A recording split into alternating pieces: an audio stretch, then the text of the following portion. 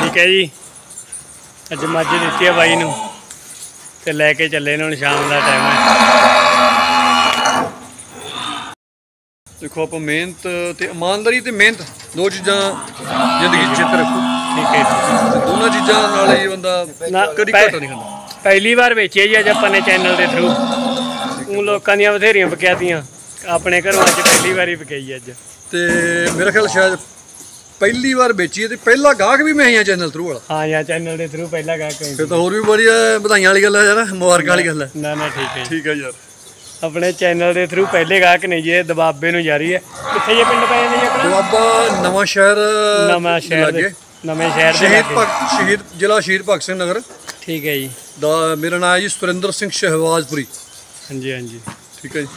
ਨਾ ਜੀ ਨਾ ਬਹੁਤ ਵਧੀਆ। ਪਹਿਲੇ ਗਾਹਕ ਮਿਲੇ ਨੇ ਪਹਿਲੀ ਐਨ ਪੂਰੇ ਘੈਂਟ ਬੰਦੇ। ਬੋਣੀ ਕੀਤੀ ਆ? ਹਾਂਜੀ ਹਾਂ। ਨਾ ਆਪਾਂ ਪਹਿਲੀ ਵਾਰੀ ਬਣਾਈ ਸੀ ਵੀਡੀਓ ਆਪਣੇ। ਘਰ ਦੀ? ਹਾਂ ਪਹਿਲੀ ਵਾਰੀ ਤੁਸੀਂ ਆਏ ਹੋ ਪਹਿਲੀ best of luck all in best of luck ਠੀਕ ਹੈ ਠੀਕ। ਧੰਨਵਾਦ। ਥੈਂਕ ਯੂ ਹਾਂ ਬਾਈ ਜੀ। ਥੋੜਾ ਢਿੱਲਾ ਕਰੋ। ਜੀ ਹਾਂ ਬਾਈ ਜੀ ਮੈਂ ਇੱਕਦਮ ਮਾਰ ਇਧਰ ਇੱਕ ਮੇਰੀ ਮੈਂ ਦੋ- ਠੀਕ ਹੈ ਜੀ। ਜੀ ਬਾਈ ਨੇ ਅੱਜ ਆਪਾਂ ਤੋਂ ਆਪਣੇ ਚੈਨਲ ਦੇ ਥਰੂ ਝੋਟੀ ਖਰੀਦੀ ਹੈ ਪਹਿਲਣ ਝੋਟੀ। ਆਜਪੁਰੀ ਹੈ ਜੀ। ਹਾਂਜੀ। ਤੇ ਐਡ ਦੇਖੀ ਐਡ ਦੇਖ ਕੇ ਮੈਨੂੰ ਝੋਟੀ ਵਧੀਆ ਲੱਗੀ। ਠੀਕ ਹੈ ਜੀ। ਜੋ ਕੁਝ ਬਾਈ ਨੇ ਹੈਪੀ ਬਾਈ ਦੱਸਿਆ ਸੀ ਹਾਂਜੀ ਹਾਂਜੀ। ਬਿਲਕੁਲ 16 ਨੇ ਸਹੀ ਨਿਕਲਿਆ। ਠੀਕ ਹੈ ਜੀ। ਤੇ ਬੜਾ ਮਨ ਖੁਸ਼ ਹੋਇਆ। ਠੀਕ ਹੈ। ਘਰੇ ਆਇਆਂ ਦਾ ਸਤਿਕਾਰ ਬੜਾ ਕੀਤਾ। ਨਾ ਠੀਕ ਹੈ ਤੇ ਜੋ ਕੁਝ ਝੋਟੀ ਵਿੱਚ ਕਿਹਾ ਸੀ ਮੈਨੂੰ ਤਾਂ ਐ ਲੱਗਿਆ ਵੀ ਜਿਵੇਂ ਵੀਡੀਓ ਵਿੱਚ ਉਨੀ ਵਧੀਆ ਨਹੀਂ ਲੱਗੀ ਜਿੰਨੀ ਆ ਕੋ ਘਰੇ ਆ ਕੇ ਇੱਥੇ ਇੰਨੀ ਵਧੀਆ ਲੱਗੀ।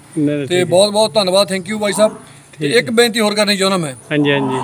ਜਿਹੜੇ ਆਪਾਂ ਬਾਈ ਮੰਡੀਆਂ ਜਾਂਦੇ ਨਾ ਆਪਣੇ ਸਾਡੇ ਵਪਾਰੀ ਵੀਰ। ਹਾਂਜੀ ਹਾਂਜੀ। ਉਹਨਾਂ ਦੇ ਮੈਂ ਇੱਕ ਬੇਨਤੀ ਕਰਨੀ ਚਾਹੁੰਦਾ ਵੀ ਉਹ ਸਾਰੇ ਵਪਾਰੀ ਵੀਰ ਇੱਕ ਵਾਰ ਇਕੱਠੇ ਹੋ ਕੇ ਸਰਕਾਰ ਨੂੰ ਸੁਚੇਤ ਕਰੋ ਜਾਂ ਸਰਕਾਰ ਕੋਲ ਇੱਕ ਮੰਗ ਪੱਤਰ ਰੱਖੋ ਹਾਂਜੀ। ਕਿ ਜਿਹੜਾ ਪੰਜਾਬ ਦਾ ਸਾਡਾ ਪਸ਼ੂਆਂ ਪਸ਼ੂ ਮੰਡੀਆਂ ਨਾ ਉਹ ਪਿੱਛੇ ਨੂੰ ਜਾ ਰਹੀਆਂ ਕਿਉਂ? ਕਿਉਂਕਿ ਸਾਡੇ ਸਰਕਾਰ ਨੇ ਸਾਨੂੰ ਦੇਖੋ ਕਿੰਨਾ ਟੈਕਸ ਲਾ ਦੇ ਕਿੰਨਾ ਲਿਖਾਈ ਲਿਖਾਈ ਘੱਟ ਹੋਣੀ ਚਾਹੀਦੀ। ਕਿੰਨੀ ਲਾ ਰਹੇ ਆ? ਤੇ ਜੇ ਉਹ ਲਿਖਾਈ ਘੱਟ ਜੇ ਲਿਖਾਈ ਘੱਟ ਹੋਵੇ ਤੇ ਸਾਡੇ ਖਰੀਦਣ ਵਾਲੇ ਵੀ ਵੱਧ ਜਾਣ। ਹਾਂਜੀ। ਤੇ ਉੱਥੇ ਵੇਚਣ ਵਾਲੇ ਵੀ ਵੱਧ ਜਾਣ। ਠੀਕ ਹੈ ਤੇ ਜੀ ਉੱਥੇ ਵਧੀਆ ਵਧੀਆ ਕਿਉਂਕਿ ਹਰ ਇੱਕ ਬੰਦਾ ਉੱਥੋਂ ਲਿਖਾਈ ਤੋਂ ਉਹ ਤੇ ਮੈਂ ਆਮ ਪਿੰਡਾਂ ਵਿੱਚ ਦੇਖਦਾ। ਲਿਖਾਈ ਤੋਂ ਹੀ ਕਿੱਲਤ ਮੰਨ ਕੇ ਲੋਕੀ ਮੰਡੀਆਂ ਵਿੱਚ ਨਹੀਂ ਜਾ ਰਹੇ। ਠੀਕ ਹੈ ਜੀ। ਔਰ ਜੇ ਤੁਸੀਂ ਲਿਖਾਈ ਨੂੰ ਘੱਟ ਕਰਾਓ ਤੇ ਤੁਹਾਡੀ ਵਪਾਰੀਆਂ ਦੀ ਚੜ੍ਹਦੀ ਕਲਾ ਹੋਊਗੀ।